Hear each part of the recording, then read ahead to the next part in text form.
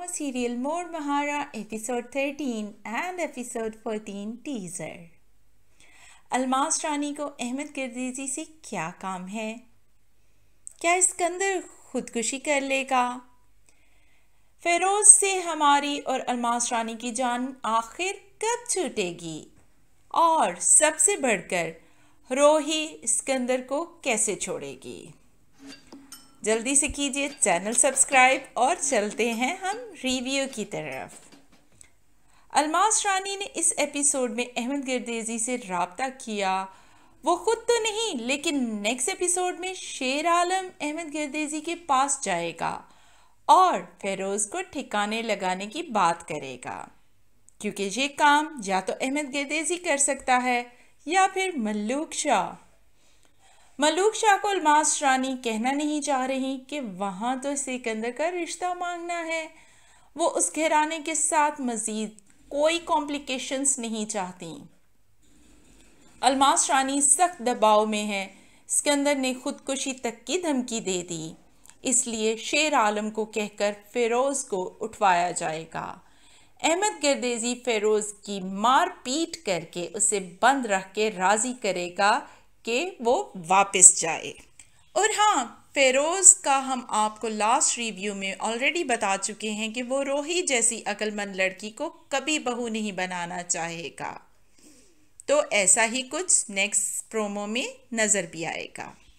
फेरोज़ के बहुत ज़्यादा परपुरजे निकल आए थे। अलमास रानी के सारे पार्टनर्स को हटा दिया। मल्लुक शाह से भी मिला, जो कि 52 परसेंट का पार्टनर है। ये मुलाकात जो दिखाई जानी चाहिए थी, दिखाई नहीं दी। कि मल्लूक शाह ने फेरोज़ को क्या जवाब दिया? लेकिन लगता नहीं कि मल्लूक शाह अलमास रानी को छोड़ेंगे। हाँ अलबत्ता सिकंदर को पक्का इनकार है। रोही की अम्मा सख्त परेशान है, रोही और सिकंदर की मुलाकातों से। घर वालों की नापसंदीदगी की वजह से रोही घर नहीं बताती कि वो सिकंदर से मिलने जा रही है। लेकिन मल्लुक शाह को भी पता है, वो टिपिकल बाप की तरह ज़बरदस्ती नहीं करना चाहते। चाहते हैं कि रोही खुद सिकंदर के बारे में जान ले कि सिकंदर उसके काबिल नहीं।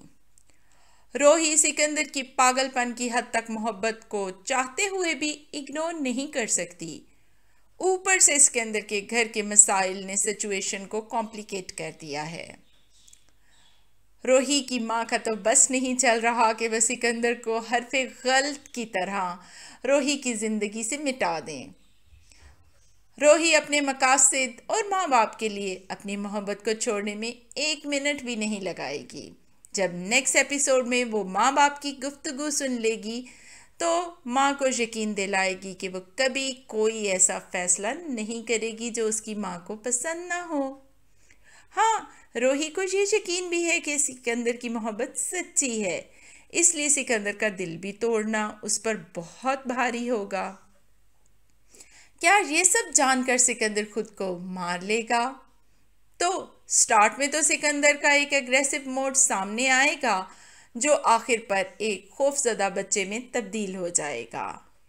सिकंदर ब्रोकन फैमिली का बच्चा है, जिसकी ज़िंदगी में माँ की कमी का खला मौजूद है। ऊपर से वो माँ से बदजन भी है। ऐसे बच्चे अंदर से बहुत खोखले होते हैं।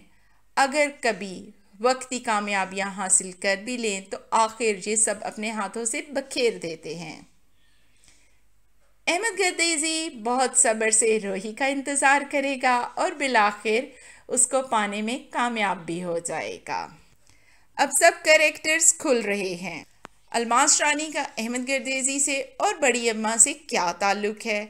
और फिर बड़ी अम्मा और मलूक शाह की फैमिली के ताल्लुकात, ये सब आने वाली एपिसोड्स में सामने आ जाएगा। आप रहिए हमारे साथ, जानते रहिए हमारे रिव्यूज़ प्लीज़ चैनल को ज़रूर सब्सक्राइब कर दिया करें। इतने सारे फ्रेंड्स डेली वीडियोस देख रहे होते हैं, लेकिन आप एक छोटी सी चीज़ भूल जाते हैं that takes only one tenth of second please channel subscribe कर दें।